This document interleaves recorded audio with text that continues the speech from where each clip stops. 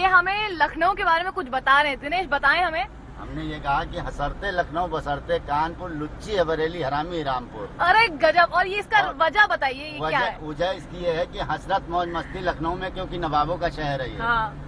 ठीक है? जी। और बशर करना हो तो कानपुर जाइए क्योंकि वहाँ पे फैक्ट्री एरिया हर आदमी को काम मिल जाता है हर आदमी की रोजी रोटी चल जाती है। सही कह रहे हैं। और बरेली का लुच्चापन बात करने का ढंग वहाँ का नहीं कायदे का है। अच्छा हाँ। अच्छा। और रामपुर में आप जब जाते हैं अगर जरा सा भी दंगा फसाद होता तो रामपुरी चाकू निकाले बैठे रहते हैं कहते हैं यहाँ की रामपुरी चाकू मशहूर है। ले भैया।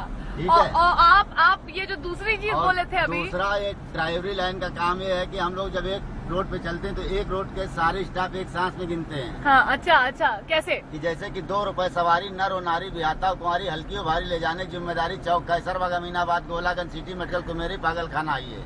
दौड़ के बैठने वाले बीसी बीसी आर इनाम है। ओ। ओ बहुत भारी। अरे गजब। बिरंजी से लाखों मगर पोइस्ता खत्म न कीजिए दिल मिले न मिले हाथ तो मिलाते रहिए। अरे गजब भैया बहुत ज़्यादा कलरफुल पर्सनालिटी है आप। कब से ड्राइवरी कर रहे हैं? हम ड्राइवरी कर रहे हैं सन सत्तासी से। अरे। सन सत्तासी से ड्राइवरी कर रहे हैं नब्बे में लाइसेंस बनवाया है ओ,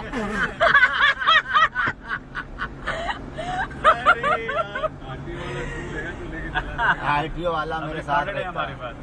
अरे भाई ये यहाँ तो पे चिकन खाया भी जाता चिकन पहना भी जाता इसी का नाम है लखनऊ।